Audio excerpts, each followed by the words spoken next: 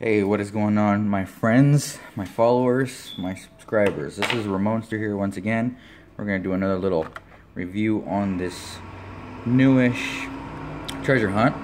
Now, don't be fooled out there. There's a different one that is a regular. This one has the clouds and the sun on top, and it has the symbol right on the back. Uh, this is grease rod, and um, the first time I saw it a few times, I was like, okay, another regular, whatever. And I didn't know that it, was a treasure hunt. See the little sign in the back? The card right behind the car, right down there.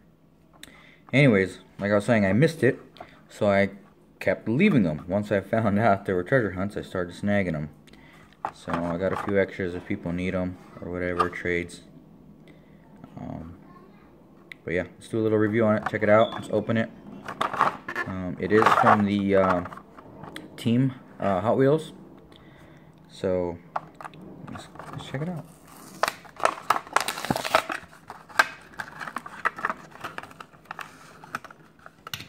Okay, there's a little symbol in the back saying that it's a treasure hunt. And here it is.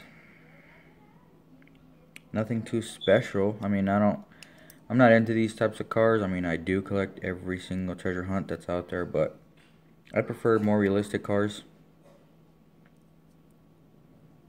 But plastic based, uh, the casting is metal right here, this gold piece. Um, everything else is pretty much plastic.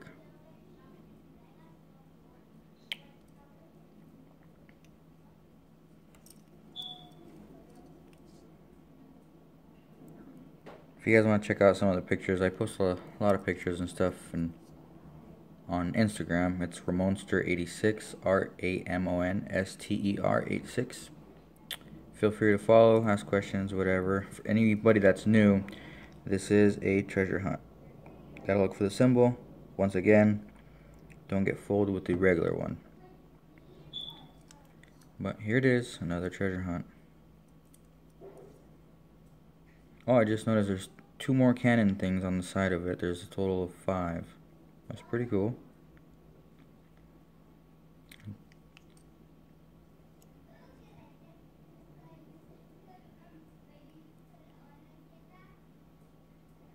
Well, short video. Hope you guys have a good day. And happy hunting.